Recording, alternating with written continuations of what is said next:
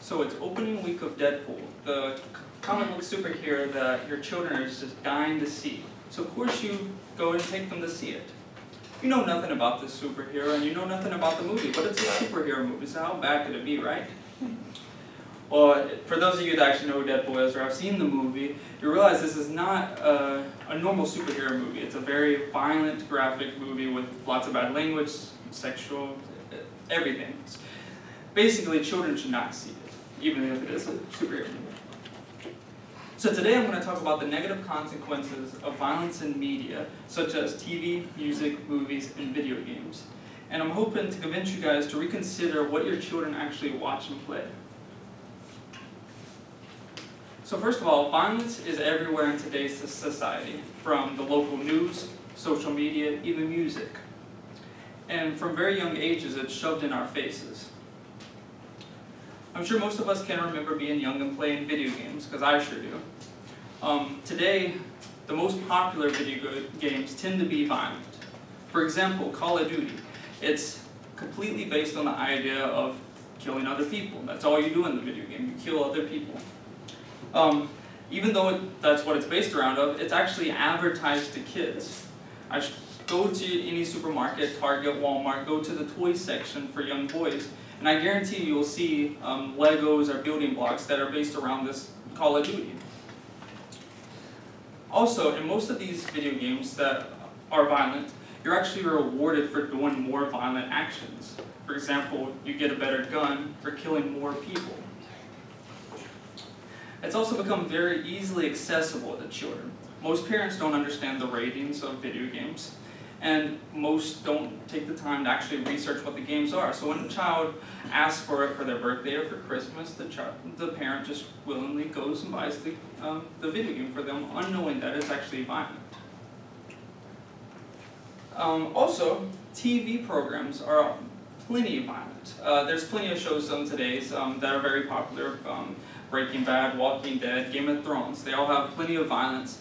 And just by turning on the TV and flipping through the channels, children can easily stumble upon one of them. Um, uh, Dimitri Christakis, um, who did a TED Talk on uh, the correlation between media and children, actually says that um, today the children start watching TV at the age of four months.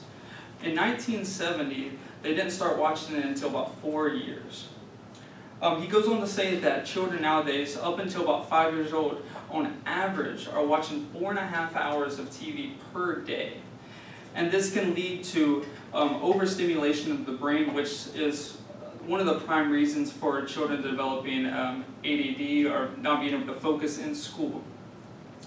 Um, and he also says this is even more prone when it's uh, overexposure to violent programs. It's even more so. So violence is everywhere. Why should you care?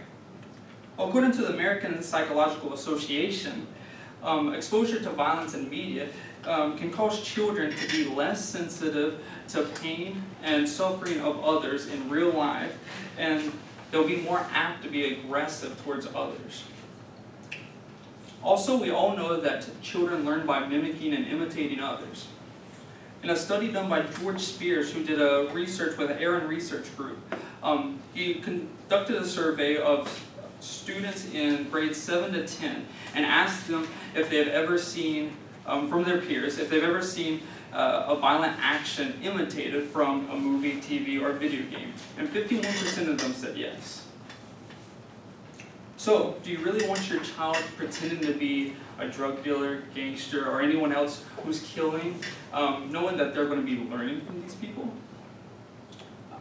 So now I'm going to show you a quick video. Um, I mentioned Call of Duty earlier. It's a video from one of the scenes in Call of Duty. Um, just as a warning, it is a video game, but it is pretty violent. So if you are squeamish, feel free to look away. And I'm only going to show about 20 seconds of it. Let me turn it down. I don't know how loud it is. So.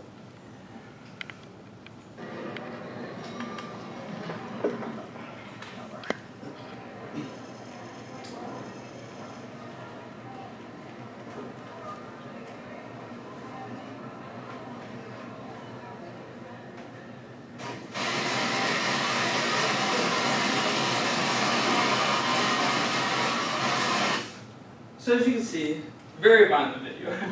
um, in this actual mission, if you were to watch for the next five to ten minutes, you would see that the entire mission is solely based around you going through the airport, killing innocent people, killing the cops trying to save the innocent people.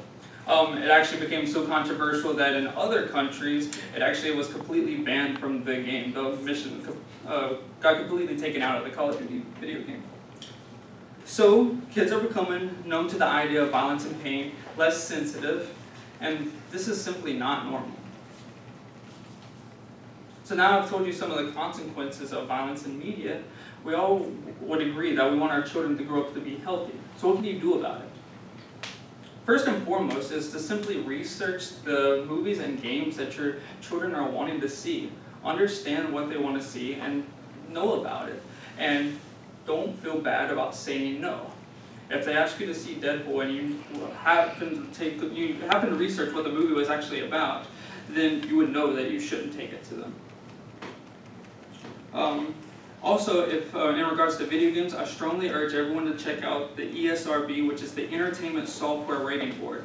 It is the company behind rating all of uh, publicly released video games. Um, you can go online, see the ratings of all video games, um, the reason why they got the ratings, and the appropriate age, uh, age group that is intended for these video games. There's also several tools that are um, already readily available that most of us don't even use, such as uh, lock on uh, TV providers, uh, Comcast, um, on computers, and you can even get download third-party applications on your smartphones um, in order to watch uh, or see what your children are watching and playing. Again, talking about uh, Dimitri Christakis, uh, who did the TED Talk and the correlation between media and children, he says the most important is just simply just interact with your child.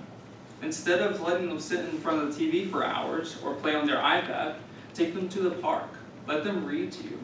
This is the most sure way of uh, your kid growing up healthy and being less prone to violent consequences later in life.